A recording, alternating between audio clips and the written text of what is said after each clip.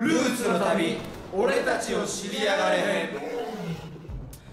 皆さんお元気ですか？ルーツの旅俺たちを知りやがれへん。第6回目スタートしました。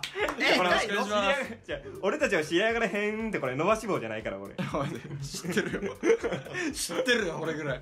はい第6回目スタートしました。はい。つい先ほど東京 FM フェスティバルアウト内のレディオブラストウォンカドーレの放送が終わったばかりです早速ですがツイッターに届いたメッセージを安田よろしく。はい、えー、ラジオネームあみさんからいただきました「 Thank you チケチケよ」はい。改めて樋口さんの熱い考えで曲ができているんだなと思うと、おはい。また違う視点から曲を聴くことができそうです、はい。これからも皆さんのやりたいことを全部やって、うん。素敵な楽曲を作り出してくれたら私も嬉しいです。うん。めちゃくちゃ嬉しいこと言ってくれる。めっちゃ嬉しいこと言ってくれるな。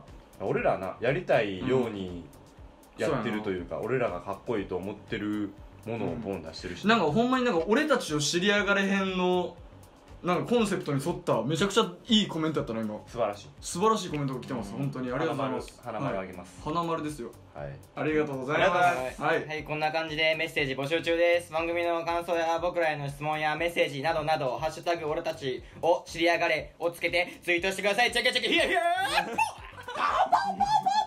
あれとっても劣るなはい。さてこの「俺たちを知り上がれ編」ではメンバーそれぞれパート別で影響を受けてきたプレイヤーについて話をしていきたいと思います。お。はい。そうなんだ。そうですよ。で今回はねクロノのルーツミュージシャンについてはい。はい。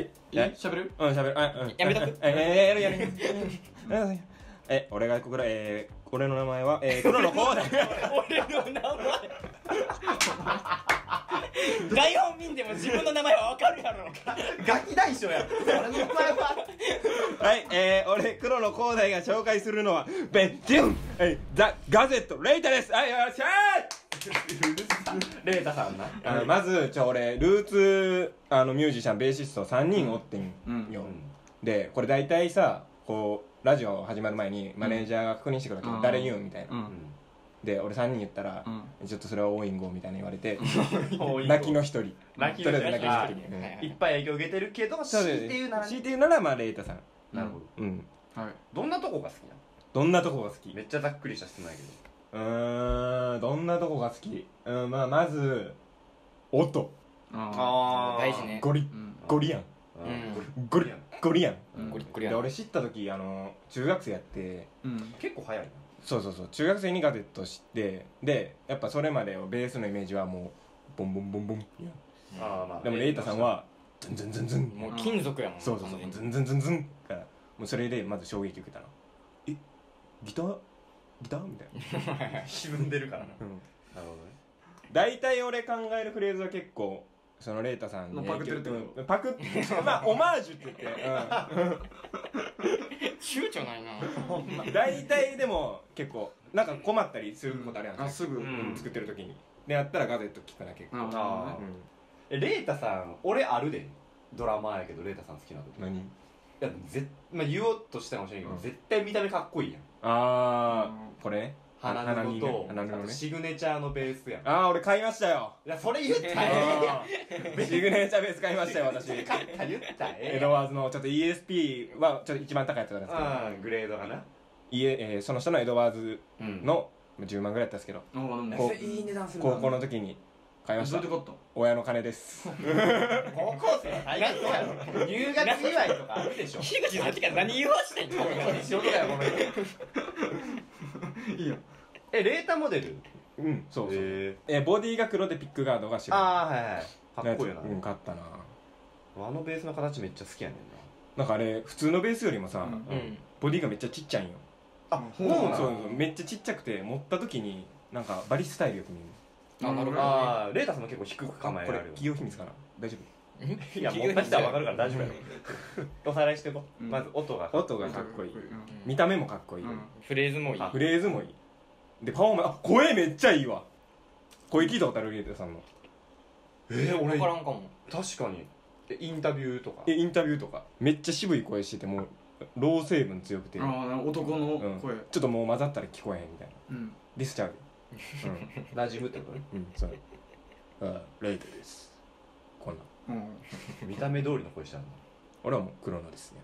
レめっちゃレイタレさんはレイタです。えもう一回黒のですよって。黒野です。えちゃうもっと高いですもん。黒野です。あそれ。それや。レイタです。いや好きです。やんよしきですやん。ゆきですやん。樋口です。レイタです。お前マジや。お前これはマジやな。名言があってレイタさんって。うん。俺これずっと覚えてんやけど今でも。うんあの埼玉スーパーアリーナでライブの日にうん。あの入り時間が朝の9時やったんよ。おお早っ。でドキュメンタリーみたいなの撮ってて、うん。レータさんが入りした時に言ったセリフが俺今でも覚えてんね、うん。ああロックバンドが早起きかよって言ってマジやこれかっこいいな。それはかっこいいな。それはかっこいい。わそれはかっこいいわレイタさんが言うからかっこいいないやわかる。わかる。えでもこれがさ俺がもしさもう来るのがさ来年とかの時にライブハウスでさ、うん。そのドキュメンタリー撮っててお前が9時に集合ああしてロックバンドが早起きかよって言ってたお前が言ってたら響かん。なでもまあでもそれは今今でも覚えてんなそのセリフは。いやそれはかっこいい。うん。普通にあかっこよってなったもん。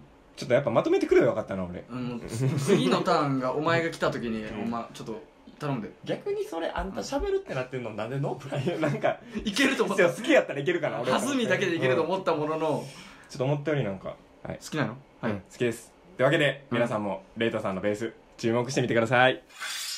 ルーツの旅。俺たちを知りやがれ。へんということでルーツの旅俺たちを知りやがれへん早いものでお別れの時間です。今回の感想はねもうもう。来るのがノープランすぎてね でも好きはやっぱ好きよ。まあわかるよ。ちゃんと好きなの分かるけどなんかもう空振りの連続やったな。なんかよかったわ生放送じゃなくて放送事故なるとこやった。いやもうけそれでも放送事故なんや まあこれが黒野くんなんで。なはい。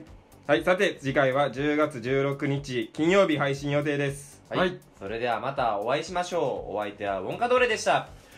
バイバイ。バイバイ